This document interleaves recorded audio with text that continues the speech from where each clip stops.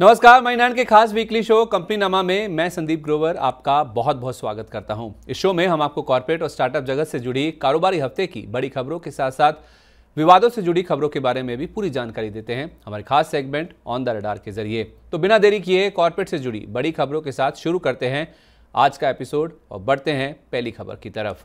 Low cost airline company SpiceJet का share इस हफ़्ते चार खबरों के चलते फोकस में रहा। सोमवार 11 दिसंबर को खबर आई कि दो बड़े निवेशकों की ओर से कंपनी में 1000 से 1200 करोड़ रुपए का निवेश किए जाने की संभावना है। खबर यह भी थी कि दुबई में सीज किए गए विमान को रिलीज़ करने के लिए दुबई इंटरनेशनल फाइनेंशियल सेंटर ने मंजूरी भी दे दी है। साथ ही इस कंपनी ने स्टॉक एक्सचेंजों को एनएससी पर लिस्टिंग की योजना के बारे में भी जानकारी दी है। 11 दिसंबर को स्पाइसजेट के शेयर ने तिरसठ रुपये उनहत्तर पैसे की, बावन हफ़्ते की नई ऊंचाई को छुआ और कारोबार की समाप्ति 10 फ़ीसदी से ज़्यादा के उछाल के साथ साठ रुपये सत्तावन पैसे के स्तर पर हुई। 12 दिसंबर को खबर आई कि स्पाइसजेट के बोर्ड ने 2,250 करोड़ रुपए जुटाने को मंजूरी दे दी है। 1600 करोड़ रुपए इक्विटी शेयर जारी कर और साढ़े छह करोड़ रुपए की रकम वारंट जारी कर जुटाई जाएगी जिसका इशू प्राइस पचास रुपए प्रति शेयर तय किया गया है। साथ ही दूसरी तिमाही में कंपनी का घाटा 835 करोड़ रुपए से घटकर 428 करोड़ रुपए रहा। बोर्ड बैठक के फैसले के बाद स्पाइसजेट का शेयर आठ दशमलव सात फ़ीसदी गिरकर पचपन रुपए तीस पैसे के स्तर पर फिसल गया था। पर क्लोजिंग करीब सवा चार फ़ीसदी की कमज़ोरी के साथ अट्ठावन रुपए चार पैसे के स्तर पर हुई। दूसरी खबर, हाल में शेयर बाज़ार में लिस्ट हुई सरकारी कंपनी इरेडा ने रिटेल डिवीज़न लॉन्च करने की घोषणा की है, जिसके तहत ये कंपनी पीएम कुसुम योजना रूफटॉप सोलर और अन्य बिज़नेस टू कंज्यूमर यानी बी टू सी सेक्टर्स के ग्राहकों को लोन देने पर फोकस करेगी। कुसुम प्रोग्राम के तहत इस कंपनी ने अट्ठावन करोड़ रुपए का पहला लोन दे भी दिया है। 11 दिसंबर को खबर आने के बाद इरेडा के शेयर में 20 फ़ीसदी का अपर सर्किट लग गया और लिस्टिंग के 12 दिन में यह शेयर बत्तीस रुपए के इशू प्राइस के मुकाबले सौ रुपए का स्तर भी पार गया, पार कर गया और 200 फ़ीसदी से ज़्यादा का रिटर्न डिलीवर कर चुका है। तीसरी खबर, जीएमआर एयरपोर्ट्स के शेयर में बीते शुक्रवार यानी 8 दिसंबर को हुई ब्लॉगी ब्लॉक डील में जीक्यूजी पार्टनर्स और गोल्डमैन सैक्स ने Goldman सैक्स GQG Partners International Opportunities fund के ज़रिए उनसठ रुपए नौ पैसे के औसत भाव पर सोलह करोड़ रुपए में इस कंपनी के 28 करोड़ 29 लाख शेयर खरीदे हैं। Goldman सैक्स GQG Partners International Opportunities fund की ओर से इस कंपनी की चार दशमलव सात फ़ीसदी हिस्सेदारी खरीदी गई है। साथ ही नमोरा इंडिया ने भी इस ब्लॉक डील के ज़रिए कंपनी के सवा छह करोड़ शेयर खरीदे हैं। इसके अलावा खबर यह भी थी कि एक जनवरी से गोवा एयरपोर्ट पर यह कंपनी यूज़र डेवलपमेंट फ़ीस यानी UDF landing charges parking charges में बढ़ोतरी करने जा रही है। सोमवार 11 दिसंबर को कारोबार के अंत में जीएमआर एयरपोर्ट्स का शेयर करीब पौने छः फ़ीसदी की मजबूती के साथ बहत्तर रुपये अस्सी पैसे के स्तर पर बंद हुआ और दिन के दौरान शेयर ने मई 2009 के बाद पहली बार चौहत्तर रुपये चालीस पैसे की ऊंचाई को छुआ था। चौथी खबर, अदानी ग्रुप इस हफ़्ते कई खबरों के चलते फोकस में रहा। 11 दिसंबर को खबर आई कि अदानी ग्रुप की अगले एक दशक में सात लाख करोड़ रुपए का निवेश करने की योजना है। इस निवेश के ज़रिए समूह की इंफ्रास्ट्रक्चर सेक्टर में अपनी लीडरशिप को मज़बूत करने की मंशा है। ग्रुप के चेयरमैन गौतम अदानी ने एक ट्वीट के ज़रिए इस निवेश की घोषणा की।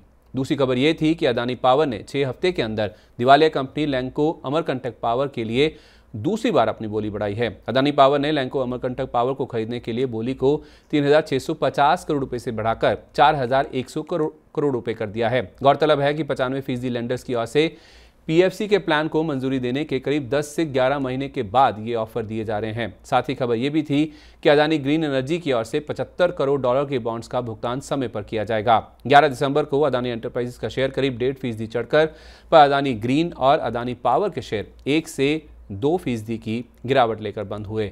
12 दिसंबर को भी दो खबरें आई थी। पहली ये कि अदानी ग्रीन एनर्जी 2024 के डॉलर बॉन्ड्स को रिफाइनेंस करने के लिए 41 करोड़ डॉलर की रकम जुटाएगी।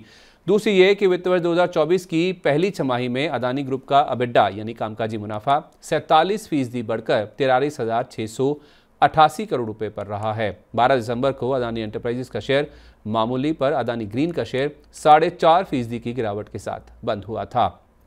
तेरह दिसंबर को अदानी समूह की कंपनी अदानी टोटल गैस की दूसरे दिन भारी भरकम पिटाई हुई। दो दिन में शेयर करीब पंद्रह फ़ीसदी टूट गया।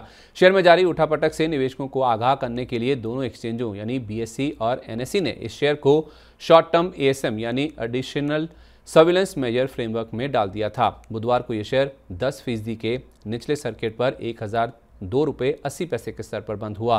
14 दिसंबर को खबर आई कि बिहार बिज़नेस कनेक्ट 2023 में अदानी ग्रुप के डायरेक्टर प्रणव अदानी ने बिहार में 8,700 करोड़ रुपए के निवेश की घोषणा की है। बिहार में अब तक हुए साढ़े आठ करोड़ रुपए के निवेश को अदानी ग्रुप 10 गुना बढ़ाना चाहता है जिससे दस हज़ार लोगों को रोज़गार मिलेगा। 14 दिसंबर को अदानी एंटरप्राइजेस का शेयर आधा फ़ीसदी से ज़्यादा की मजबूती के साथ दो हज़ार आठ सौ तिरानवे रुपए के स्तर पर बंद हुआ।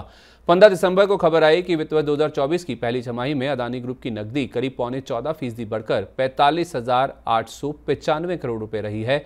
साथ ही अदानी पोर्ट्स अपने अदानी एन्नोर कंटेनर टर्मिनल में उनचास फ़ीसदी हिस्सेदारी दो करोड़ रुपए में बेचने जा रही है। 15 दिसंबर को अदानी पोर्ट्स का शेयर करीब आधा फ़ीसदी की मजबूती लेकर बंद हुआ था। पांचवी खबर मैक्स हेल्थ केयर इंस्टीट्यूट ने स्टारलेट मेडिकल सेंटर को 940 करोड़ रुपए में खरीदने की घोषणा की है। इस अधिग्रहण से मैक्स हेल्थ केयर को लखनऊ में 550 बेड की क्षमता वाले सहारा हॉस्पिटल की कमान भी मिल जाएगी। यह अधिग्रहण मैक्स हेल्थ केयर की एक subsidiary company Crossley Remedies Limited या सीआरएल की ओर से पूरा किया गया है। 11 दिसंबर को जब यह खबर आई तो मैक्स हेल्थ केयर का शेयर करीब सवा एक फ़ीसदी की मजबूती के साथ छह रुपए के स्तर पर बंद हुआ था। अगली खबर मंगलवार 12 दिसंबर को देश की चौथी सबसे बड़ी दवा कंपनी मैनकाइंड फार्मा के तीन करोड़ एक लाख शेयरों की ब्लॉक डील हुई जिसकी वैल्यू 5,550 करोड़ रुपए आंकी गई है। एक रिपोर्ट के मुताबिक इस ब्लॉक डील में beige investment link investment fund Carlyle CIPEF Carlyle CGPE और हेमा सीआईपीईएफ नाम की पाँच प्राइवेट इक्विटी फंड्स की ओर से हिस्सा बिक्री की गई है। इस ब्लॉक डील के बाद 12 दिसंबर को मैनकाइंड फार्मा का शेयर दिन के दौरान एक रुपये पचास पैसे के स्तर तक फिसल गया था और क्लोजिंग करीब पौने चार फ़ीसदी की कमज़ोरी के साथ एक रुपये के स्तर पर देखने को मिली। सातवीं खबर, एनबीएफसी कंपनी कैप्री ग्लोबल को इंश्योरेंस रेगुलेटर एडा से इंश्योरेंस कारोबार शुरू करने के लिए लाइसेंस मिल गया है। इस कारोबार में कंपनी हर साल दो से तीन करोड़ रुपए का निवेश करेगी और वित्त वर्ष 2025 में इस कारोबार से करीब 20 करोड़ रुपए की आय होने का अनुमान लगाया जा रहा है। कैप्री ग्लोबल का शेयर मंगलवार 12 दिसंबर को आधा फ़ीसदी गिरकर सात सौ साठ रुपए पर बंद हुआ। हालाँकि मज़बूत शुरुआत के दम पर दिन के दौरान शेयर सात रुपए तक उछल गया था। आठवीं खबर कंज्यूमर ड्यूरेबल या इलेक्ट्रॉनिक गुड्स की मैन्युफैक्चरिंग से जुड़ी डिक्सन टेक्नोलॉजीज़ की सब्सिडरी कंपनी पैजेट इलेक्ट्रॉनिक्स ने ग्लोबल टेक लीडर लेनोवो के लिए लैपटॉप्स और नोटबुक समेत आईटी हार्डवेयर प्रोडक्ट्स की मैन्युफैक्चरिंग के लिए डील जीत ली है। 12 दिसंबर को दिन के दौरान डिक्सन टेक के शेयर ने छह रुपए की रिकॉर्ड ऊंचाई को छुआ पर कारोबार की समाप्ति पर शेयर करीब पौने एक फ़ीसदी गिरकर छह रुपए पंद्रह पैसे के स्तर पर बंद हुआ था। नौवीं खबर। दिग्गज दवा कंपनी सन फार्मा ने अपनी यूएस की सब्सिडरी कंपनी टेरोफार्मा की बाकी बची इक्कीस दशमलव पाँच दो फ़ीसदी हिस्सेदारी खरीदने के लिए अपना ऑफ़र 38 डॉलर प्रति शेयर से बढ़ाकर तिरालीस डॉलर प्रति शेयर कर दिया है। यानी कि कंपनी ने अपने ऑफ़र में तेरह फ़ीसदी की बढ़ोतरी की है। ये कदम कंपनी की ओर से मई में टेरोफार्मा की पूरी सौ फ़ीसदी हिस्सेदारी खरीदने की योजना का ही हिस्सा है। मई में सनफार्मा के पास टेरोफार्मा की अठहत्तर दशमलव चार आठ फ़ीसदी हिस्सेदारी थी। 12 दिसंबर को सनफार्मा का शेयर करीब दो फ़ीसदी लुढ़क कर बारह सौ पैसे के स्तर पर बंद हुआ था। दसवीं खबर, देश की सबसे बड़ी कंपनी रिलायंस इंडस्ट्रीज़ यानी आरआईएल और डिज्नी अपने भारत के मीडिया और एंटरटेनमेंट कारोबार के मर्जर की तैयारी में है। एक रिपोर्ट के मुताबिक दोनों कंपनियों ने मर्जर की शर्तों से जुड़ी टर्म शीट को तैयार कर लिया है। डील पूरी हुई तो मर्जर के बाद ये कंपनी देश का सबसे बड़ा मीडिया और एंटरटेनमेंट बिज़नेस होगा, जिसमें आर की मेजोरिटी हिस्सेदारी होगी। माना जा रहा है कि वायकॉम एटिंग की एक सब्सिडरी कंपनी का गठन होगा, जो स्टार इंडिया का शेयर स्वैप के ज़रिए एब्जॉर्प्शन करेगी। 12 दिसंबर को आरएल का शेयर करीब डेढ़ फ़ीसदी की गिरावट के साथ दो रुपए के स्तर पर बंद हुआ था। ग्यारहवीं खबर, फ़ूड डिलीवरी प्लेटफॉर्म जोमेटो की अपने कारोबार को विस्तार करने की योजना है। कंपनी के फ़ूड डिलीवरी डिवीज़न के सीईओ राकेश रंजन ने एक इंटरव्यू में बताया कि कंपनी की अपने लॉयल्टी प्रोग्राम गोल्ड के ज़रिए केटरिंग के कारोबार में उतरने की योजना है। इस नए कारोबार के लिए कंपनी रेस्टोरेंट पार्टनर्स के ज़रिए अपने इस्टेब्लिश नेटवर्क का फ़ायदा लेना चाहती है, जिसके ज़रिए बड़े ऑर्डर सर्विस करने की कंपनी की मंशा है। 12 दिसंबर को जब ये खबर आई तो जोमेटो का शेयर करीब डेढ़ फ़ीसदी गिरकर एक सौ पैसे के स्तर पर बंद हुआ था। बारहवीं खबर बाबा कल्याणी ग्रुप की कंपनी भारत फोर्ज ने जानकारी दी है कि कंपनी के ग्लोबल डिपॉजिटरी रिसिट, यानी जीडीआर लग्जमबर्ग स्टॉक एक्सचेंज से डी लिस्ट होंगे। ये डी लिस्टिंग 15 जनवरी 2024 से लागू होगी। जीडीआर प्रोग्राम के डी लिस्टिंग होने के बाद भी भारत फोर्ज के शेयर, भारतीय शेयर बाज़ार, यानी बीएसई और एनएसई में रोज की तरह ट्रेड किए जा सकेंगे। चौदह दिसंबर को भारत फोर्ज का शेयर आधा फ़ीसदी की बढ़त के साथ एक हज़ार के स्तर पर बंद हुआ था। तेरहवीं खबर। कमर्शियल व्हीकल्स बनाने वाली कंपनी फोर्स मोटर्स ने दो दशमलव छह आठ करोड़ रुपए में टाटा पावर रीन्यूएबल एनर्जी की subsidiary company TP Surya Limited का बारह दशमलव दो एक फ़ीसदी हिस्सा खरीद लिया है। इस हिस्सा खरीद के ज़रिए फोर्स मोटर्स की रीन्यूएबल एनर्जी सेक्टर में एंट्री हो गई है। इस खबर के आने के बाद तेरह दिसंबर को फोर्स मोटर्स का शेयर पौने एक फ़ीसदी गिरकर तीन हज़ार छह सौ छप्पन रुपए बीस पैसे के स्तर पर बंद हुआ था।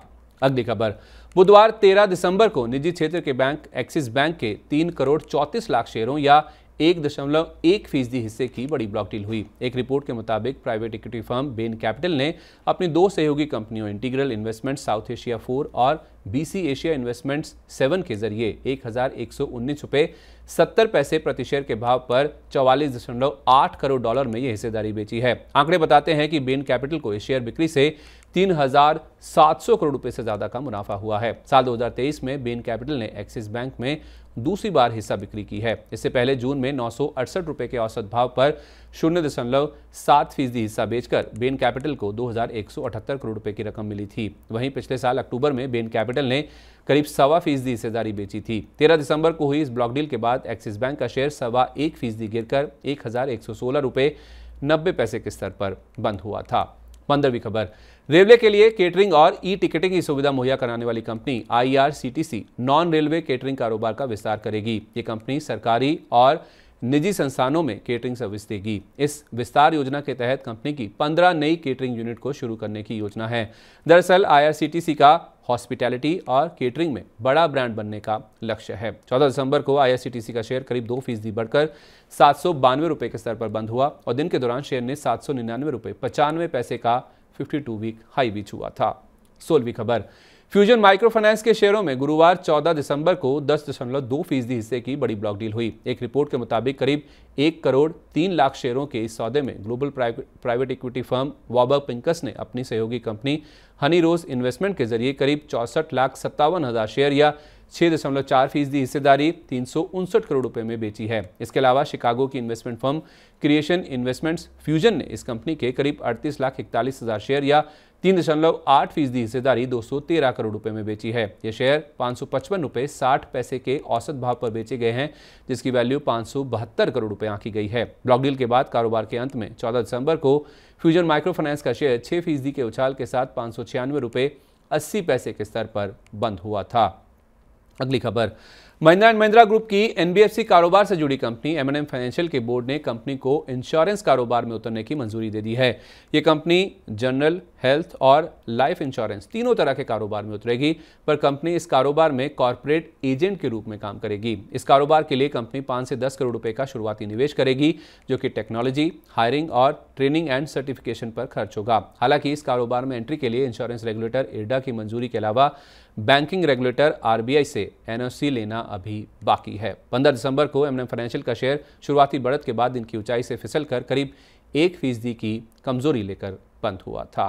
तो कॉर्पोरेट जगत की खबरों के बाद अब रुक करते हैं कॉर्पोरेट जगत की ऐसी खबरों का, जिनमें कोई ना कोई विवाद जुड़ा हुआ है। ऑन द रडार के ज़रिए और बढ़ते हैं पहली खबर की ओर। 11 दिसंबर को देश की सबसे बड़ी पावर उत्पादक कंपनी एनटीपीसी के लिए एक राहत की खबर आई। खबर यह है कि एनक्लेट ने कंपनी पर सीसीआई की ओर से लगाई गई 40 लाख रुपए की पेनल्टी पर रोक लगा दी है। ये पेनल्टी एनटीपीसी की ओर से रत्नागिरी गैस एंड पावर यानी आरजीपीपीएल के शेयर खरीदने का खुलासा ना करने के चलते लगाई गई थी। आपको बता दें कि एनटीपीसी ने आरजीपीपीएल की पैंतीस दशमलव चार सात फ़ीसदी हिस्सेदारी खरीदी थी, जिसके बारे में सीसीआई को कोई जानकारी नहीं दी गई थी। इसीलिए सीसीआई ने 22 अगस्त 2023 को कंपनी पर 40 लाख रुपए की पेनल्टी लगाई थी, जिसे एनटीपीसी ने एनक्लैट में चुनौती दी थी। 11 दिसंबर को एनटीपीसी का शेयर करीब एक फ़ीसदी की बढ़त के साथ दो सौ साठ पैसे के स्तर पर बंद हुआ था। दूसरी खबर, भारतीय जीवन बीमा निगम यानी एलआईसी को deputy commissioner state tax Warangal Telangana की ओर से एक सौ तिरासी करोड़ रुपए से ज़्यादा का जीएसटी डिमांड नोटिस मिला है। हालाँकि एलआईसी के मुताबिक इस नोटिस से कंपनी के ऑपरेशंस, फाइनेंशियल्स और दूसरी गतिविधियों पर कोई असर नहीं देखने को मिलेगा। पर सोमवार 11 दिसंबर को एलआईसी का शेयर करीब एक चौथाई फ़ीसदी की मामूली गिरावट के साथ सात सौ रुपए पैंसठ पैसे के स्तर पर बंद हुआ था। तीसरी खबर, देश की दूसरी सबसे बड़ी आईटी कंपनी इन्फोसिस के सामने लीडरशिप संकट पैदा होने की आशंका जताई जा रही है। हाल ही के दिनों में कंपनी से टॉप मैनेजमेंट के कई लोगों ने नौकरी छोड़ दी है। अपने पद से इस्तीफा देने वाले अधिकारियों में ताज़ा नाम कंपनी के सीएफओ निलंजन रॉय का है। निलंजन 31 मार्च को कंपनी छोड़ देंगे।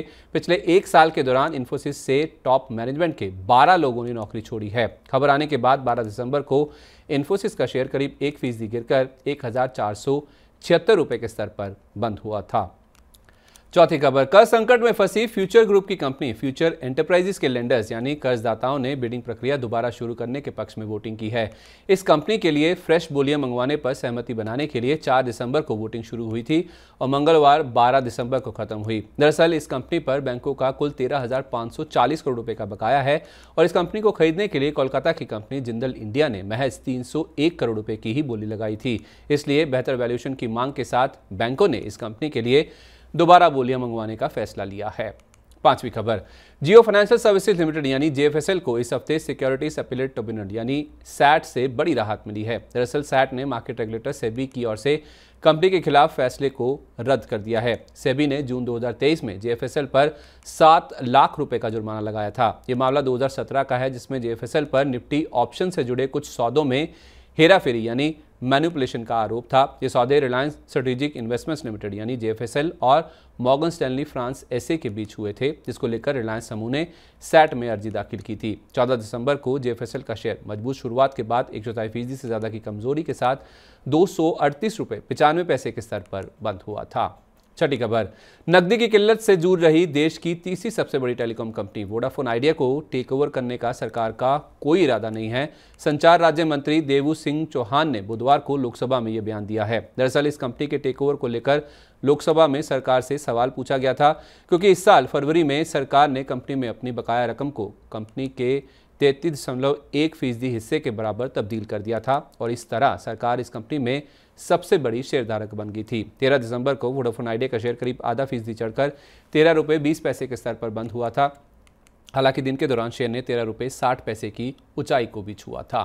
सातवीं खबर, गुरुवार 14 दिसंबर को metal and mining company Vedanta की parent company Vedanta Resources Limited यानी वीआरएल को लेकर खबर थी कि कंपनी ने तीन दशमलव आठ अरब डॉलर के बॉन्ड्स के भुगतान में फेरबदल की प्रक्रिया को शुरू कर दिया है। वीआरएल को जनवरी 2024 में करीब एक अरब डॉलर के बॉन्ड्स का भुगतान करना है।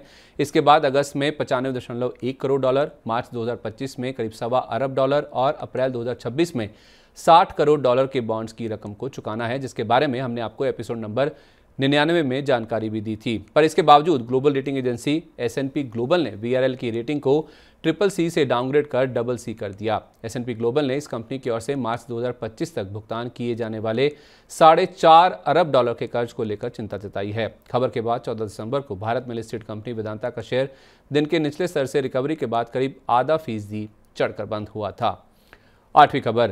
रियल एस्टेट कारोबार से जुड़ी कंपनी डीएलएफ के चीफ फाइनेंशियल ऑफिसर यानी सीएफओ विवेक आनंद ने अपने पद से इस्तीफा दे दिया है। वो अपने पद पर फरवरी तक बने रहेंगे। कंपनी के managing director Ashok Kumar Tyagi, finance समेत सभी कॉरपोरेट फ़ंक्शंस के साथ साथ अब ग्रुप फाइनेंस, आईटी और सेक्रेटेरियल फ़ंक्शंस को भी सुपरवाइज यानी उनकी निगरानी करेंगे। मंगलवार को डीएलएफ का शेयर करीब एक फ़ीसदी गिरकर छह सौ इकसठ तीस पैसे के स्तर पर बंद हुआ था। नौवीं खबर। मार्केट रेगुलेटर सेबी के लगभग हर फैसले को सैट की ओर से या तो पलटा जा रहा है या रद्द किया जा रहा है। जेएफएसएल के अलावा इस हफ़्ते दूसरा मामला डार्क फाइबर केस से जुड़ा है, जिसमें सेबी ने एनएसई के खिलाफ फैसला सुनाया था। सैट ने डार्क फाइबर केस में एनएसई पर लगे सात करोड़ रुपए के जुर्माने को रद्द कर दिया है। साथ ही एनएसई की पूर्व एमडी और सीईओ चित्रा रामकृष्णा पर पेनल्टी की रकम को पाँच करोड़ रुपए से घटाकर पच्चीस लाख रुपए कर दिया गया है, जबकि सुब्रमण्यन पर लगाई चार करोड़ रुपए की पेनल्टी पूरी तरह से हटा दी गई है। आपको बता दें कि सेबी ने अप्रैल 2019 में एनएसई को 12 फ़ीसदी सालाना ब्याज के साथ 625 करोड़ रुपए का मुनाफा लौटाने का आदेश जारी किया था। इसके अलावा एनएसई के पूर्व एमडी व सीईओ रवि नारायण और चित्रा रामाकृष्णा को इस दौरान मिली सैलरी का 25 फ़ीसदी हिस्सा लौटाने के लिए भी कहा गया था। तो इसी के साथ कॉर्पोरेट जगत से जुड़ी इस हफ़्ते की तमाम बड़ी खबरें आपको पता चल गई। अब आगे बढ़ते हैं और बात करते हैं स्टार्टअप स्पेस की स्टार्टअप अपडेट में और चलते हैं पहली खबर की ओर। साल 2023 में भारतीय स्टार्टअप्स की फंडिंग पाँच साल में सबसे कम रही है। 2023 में स्टार्टअप्स की फंडिंग बहत्तर फ़ीसदी घटकर सात अरब डॉलर रही है। 2022 में स्टार्टअप्स को कुल 25 अरब डॉलर की फंडिंग मिली थी। दरअसल 2022 की तुलना में 2023 में 10 करोड़ डॉलर से ज़्यादा फंडिंग वाले राउंड्स की संख्या में उनहत्तर फ़ीसदी की कमी हुई है और इस साल केवल दो स्टार्टअप्स ने ही यूनिकॉर्न का दर्जा हासिल किया है। जबकि पिछले साल, यानी 2022 में तेईस कंपनियों ने यह मुकाम हासिल किया था। पर पाँच साल में सबसे कम फंडिंग के बावजूद दुनिया भर में पूंजी हासिल करने के मामले में भारत चौथे स्थान पर रहा है। दूसरी खबर, इलेक्ट्रिक टू व्हीलर बनाने वाली देश की सबसे बड़ी कंपनी ओला इलेक्ट्रिक जल्द अपना आईपीओ लॉन्च कर सकती है। इस तरह दो दशक में यानी 20 साल के बाद पहली बार किसी ऑटो कंपनी का आईपीओ आएगा। इससे पहले 2003 में मारुति सुजुकी ने अपना आईपीओ लॉन्च किया था। यह कंपनी आईपीओ के ज़रिए करीब 8,500 करोड़ रुपए की रकम जुटा सकती है और इस तरह ये देश के टॉप 15 सबसे बड़े आईपीओ की सूची में शुमार हो जाएगी। तीसरी खबर नकदी की दिक्कत से जूझ रहे क्विक कॉमर्स प्लेटफॉर्म डंजो का सर्वाइवल यानी कारोबार जारी रख पाने को लेकर संदेह पैदा हो गया है। ऐसा इसलिए क्योंकि रिलायंस रिटेल ने अब तक डंजो के प्रस्तावित राइट्स इशू में पूंजी निवेश को लेकर प्रतिबद्धता नहीं दिखाई है। माना जा रहा है कि डंजो की अपने सबसे बड़े शेयरधारक रिलायंस रिटेल के साथ बातचीत रुक गई है, जिससे कंपनी के बाकी निवेशक भी कारोबार दोबारा शुरू होने को लेकर असमंजस की स्थिति में हैं। चौथी खबर फिनटेक कंपनी भारत पे के को फाउंडर अश्नीर ग्रोवर ने कंपनी में अपने एमडी के पद पर बहाली की मांग करते हुए एनसीएलटी में अर्जी दाखिल की है। उन्होंने भारत पे के मैनेजमेंट के खिलाफ दमनकारी आचरण और कुप्रबंधन का आरोप लगाया है। ग्रोवर ने यह घोषणा करने का भी अनुरोध किया है कि उनके जाने के बाद से कंपनी के मैनेजमेंट में किए गए बदलाव अवैध यानी गैर कानूनी हैं। यही नहीं, उन्होंने एनसीएलटी से मिनिस्ट्री ऑफ़ कॉर्पोरेट अफेयर्स की ओर से इस कंपनी की जाँच और ऑडिट कराने की भी मांग की है और 1 मार्च 2022 यानी उनके इस्तीफे के बाद जारी सभी शेयर या ईसॉप्स को रिवर्ट करने के लिए भी कहा गया है। पांचवी खबर फिनटेक कंपनी जस्ट पे को पेमेंट एग्रीगेटर के कारोबार के लिए रिज़र्व बैंक की सैद्धांतिक मंजूरी मिल गई है। फ़िलहाल कंपनी ई कॉमर्स कंपनियों के लिए पेमेंट सर्विस प्रोवाइडर का काम करती है, लेकिन अब रिज़र्व बैंक की मंजूरी के बाद कंपनी कार्ड यूपीआई और वॉलेट पेमेंट कारोबार में भी उतर जाएगी। रिज़र्व बैंक के नियमों के मुताबिक मौजूदा पेमेंट गेटवे कंपनियाँ पेमेंट एग्रीगेटर के लिए सैद्धांतिक मंजूरी के बाद कारोबार की शुरुआत कर सकती हैं। तो कॉर्पोरेट्स और स्टार्टअप जगत की पूरे हफ़्ते की खबरों का सिलसिला यहीं खत्म करते हैं। पर्सनल फाइनेंस और बिज़नेस जगत से जुड़ी ऐसी तमाम बड़ी खबरों को जानने के लिए मनी नाइन के सुपर ऐप को तुरंत डाउनलोड कर लीजिए। उम्मीद है आपको कंपनी नामा का इस हफ़्ते का एपिसोड अच्छा लगा होगा। आपको हमारा आज का शो कैसा लगा? अपना फीडबैक हमारे साथ कॉमेंट बॉक्स में ज़रूर शेयर करें। तो अगले शनिवार की शाम को इसी समय आपसे फिर मुलाकात होगी नई खबरों के साथ। तब तक आप देखते रहे मनी नाइन वक्त हो गया आपसे विदा लेने का। नमस्कार, शुभ रात्रि।